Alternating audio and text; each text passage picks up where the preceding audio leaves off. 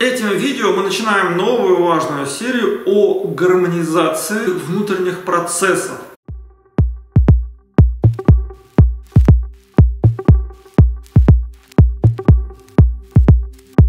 которые в нас ежечасно, ежедневно, ежесекундно, постоянно, не останавливаясь, эти процессы идут и текут, но они нуждаются в гармонизации. Почему? Давайте сегодня начнем с гармонизации воды. Все знают, что человеческое тело на очень большой процент состоит из воды. Специально сейчас не называю этот процент, вы можете посмотреть в Википедии, узнать, как он рассчитывается. В мышцах воды гораздо больше. Оставляю это на вашу любознательность. Нам достаточно факта. Большая часть нас – это вода. Давайте в этом видео поговорим о том, что вода, которая находится в нас, нуждается в гармонизации. Почему она в ней нуждается? Как эту гармонизацию проводить? Какой результат будем иметь мы, если вода в нас не будет гармонизована? Это яйцо. Куриное сырое яйцо. Это яйцо куриное на очень большой процент состоит из воды. Хотя, вот смотрите, вот твердая оболочка, да? Но мы-то знаем, что эта оболочка очень тонкая, оболочка из неорганики. А вот там внутри что-то, что находится в каком состоянии? Правильно, в состоянии структуры. Там есть белок, внутри этого есть внутренняя сфера который называется желток. Структуру яйца вы тоже можете посмотреть подробно. Об этом мы сейчас долго говорить не будем. Почему это яйцо живое? Если посадить на сетку, из этого яйца может родиться цыпленок. Потому что все внутренние жидкости находятся в структуре и гармонизованы. Как думаете, если взять это яйцо и начать его трясти какое-то время. Вот, например, дать ребенку, чтобы он с ним поиграл. Ну, сказать только, что не разбей. Он будет его трясти, как любят дети трясти любой предмет. Как вы думаете, долго и усердно трясти это яйцо? Родится ли цыпленок? Почему? Потому что та структура, которая заложена природой будет разрушена. Вот та гармония, которая заложена и которая поддерживается внутри яйца, уже перестанет быть гармонией. Жидкости разной природы, которые на, на, находятся в нас, тоже могут быть в разных состояниях. Два важнейших состояния, которые нас интересуют, это состояние гармонии наших жидкостей и состояние их дисгармонии. В одном из этих стаканов один стакан без ножки, другой стакан с ножкой. В одном из этих стаканов мы налили водопроводную воду. В другом стакане вода из родника, которую я набираю ночью. И это видео вы можете посмотреть. Эксперимент очень простой. Мы даем попробовать. и говорим, скажите, пожалуйста, какая вода водопроводная, какая вода из родника? Ни по цвету, ни по запаху вода не отличается. Почти 100% из 100 людей говорят там, вот эта вода водопроводная, а вот эта вода из родника. Мы говорим, почему? Они говорят, так чувствуем, вкуснее вода, какая-то другая. Мы не анализируем химический состав. Да, мы знаем, что в родниках там есть разные химические составы. Есть родники, в которых химический состав воды очень близок, отличается от того, который идет в водопроводе. Но по вкусу. А вкус это не просто вкус, как вы понимаете, да? Рецепторы вкусовые это одно, а то, что наш организм способен и дает нам другие возможности, другие рецепторы. Он нам дает информацию о том, что вот это для жизни лучше. Это можно назвать ЦИ, можно как-то по-другому. Я думаю, что у нас несколько уровней таких рецепторов. И мы знаем, что это для жизни лучше. Вода из родника для жизни лучше. Почему? Потому что она структурирована. Кристаллы воды в роднике сохраняют свою структуру, а вода, прошедшая через водопровод, эту структуру потеряла. Она стала водой хаотической структуры. Это подобно тому, как если мы изо дня в день проводим в суете одна ситуация и вторая ситуация, мы свой день способны структурировать так, что у нас есть время на заботы, и время на работы, и время на отдых, на гимнастику, и время на природу, и время на изучение чего-то, на общение с интересными людьми. Это будет другое состояние. Вот когда мы с вами суетимся из, изо дня в день, из года в год, жидкости внутри нас, которые составляют большинство вещества в нас находятся в состоянии раз структурированной дисгармоничной воды, которую можно уподобить воде водопроводной. И если мы с вами занимаемся структурой своего тела, когда мы говорим «сидите на стуле структурно», «сидите в машине структурно», «смотрите телевизор структурно», «работайте 8 часов за компьютером», но сохраняйте структуру. Ходите структурно, говорим мы вам.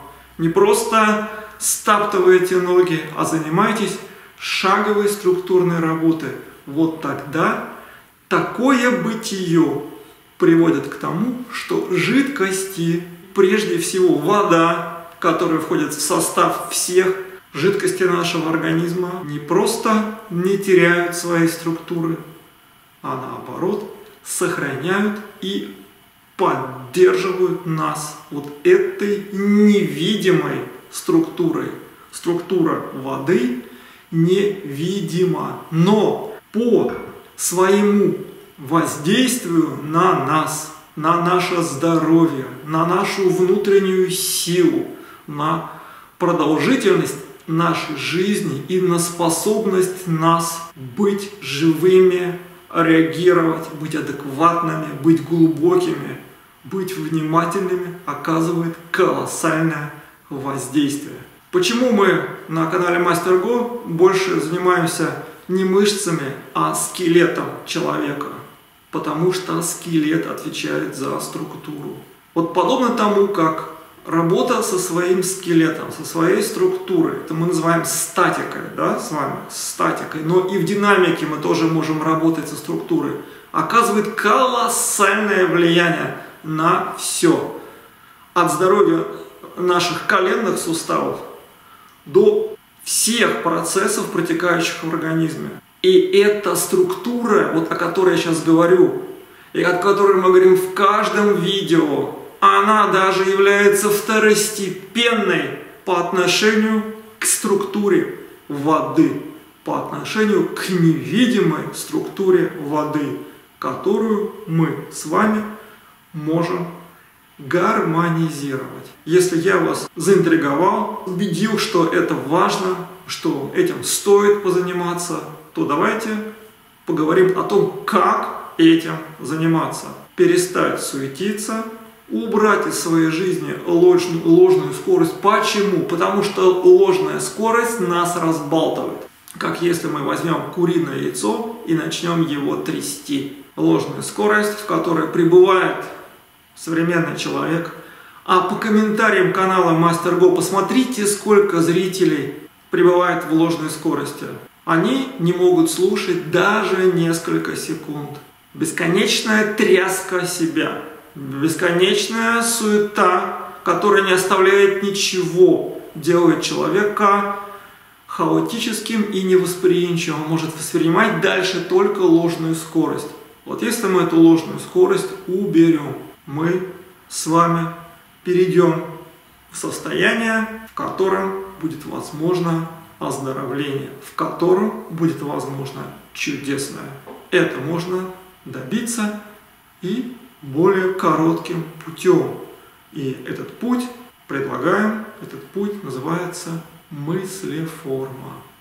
Как это сделать? Вы можете взять живое куриное яйцо и почувствовать его структуру, как там колеблется, как там колеблется белок, как там колеблется желток, и сказать себе гармонизация воды, гармонизация воды.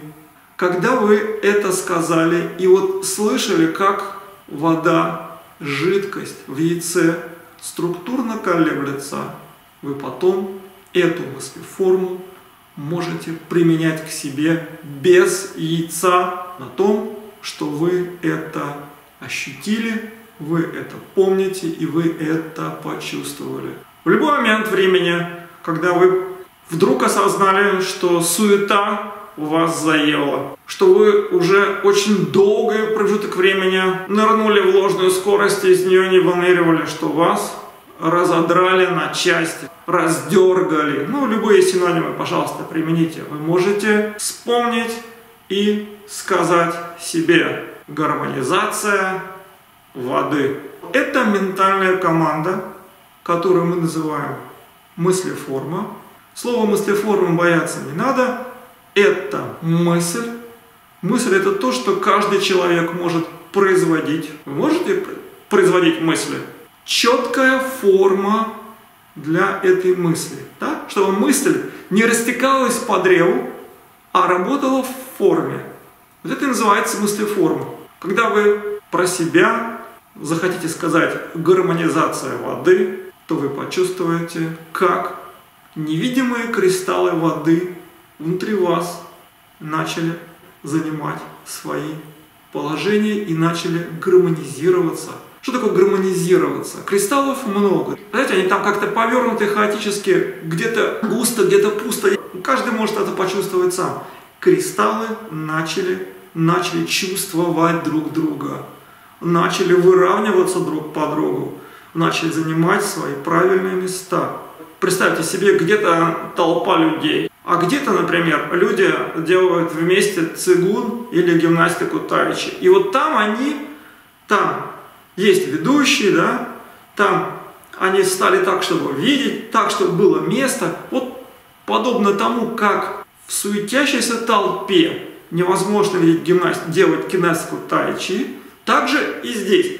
Раздерганных, дезориентированных кристаллов воды, дав команду на гармонизацию, получаете совместную работу всех кристаллов воды, где бы они ни находились в пределах вашего организма. И начинается процесс чудес. Вы это можете почувствовать. Вот я сейчас говорю это, я, а мои ноги стоят на всей стопе.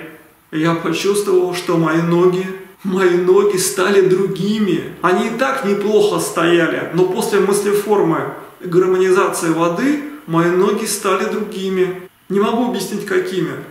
Почувствуйте это сами, и если почувствовали, напишите в комментариях. Вот у меня руки стали другими, у меня стали другими подмышки, ребра.